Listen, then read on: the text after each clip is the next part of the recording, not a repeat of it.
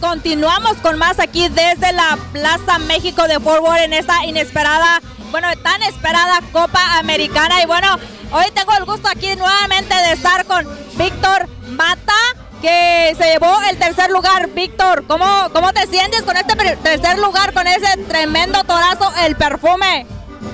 Pues bien, yo creo que le, echamos ganas, hicimos lo, lo que estuvo a nuestro alcance no se pudo, pues eh, para la otra.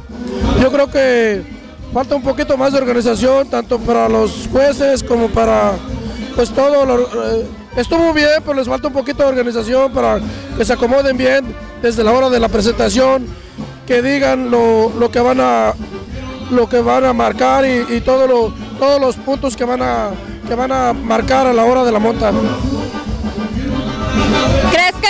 ¿Crees que la decisión que tomaron los jueces eh, no fue la más correcta en este momento, ya que hiciste un largo trabajo en tu toro?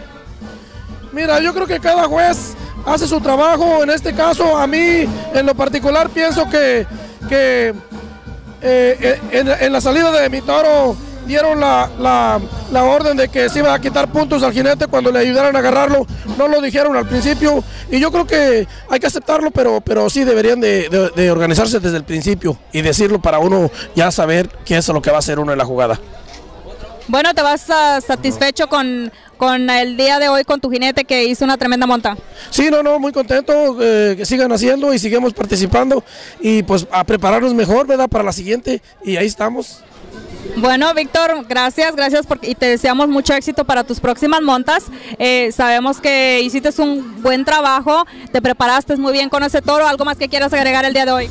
No, pues que sigan haciendo más para que nos inviten y que nos toquen buenos jinetes también para poder jugar y darles un buen espectáculo al público, porque ahora sí que también el público viene a ver un buen espectáculo.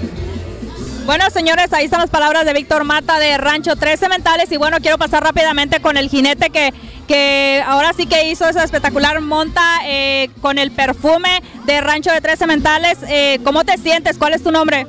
Jaime Carrizales, me siento bien. Pues yo creo que hicimos el trabajo bien, pero alcanzamos el tercer lugar. Directito de San Luis Potosí con 10 años de experiencia, llevarse el tercer lugar con tremendo rancho como es eh, Rancho Tres Cementales el día de hoy. ¿Cómo, cómo te sientes con este premio que, te otorga aquí la, Copa Americana de Forward? Bien, bien, me da gusto que quedamos en los primeros tres y pues siempre le estamos echando ganas para estar en los primeros lugares. Bueno, muy bien amigos, bueno ahí están las palabras tanto de Víctor Mata como del jinete que se llevan el tercer lugar aquí el día de hoy en la Copa Americana de la ciudad de, de Forward en a Plaza México de Forward. Y bueno, continuamos con más, les deseamos mucho éxito para la próxima temporada.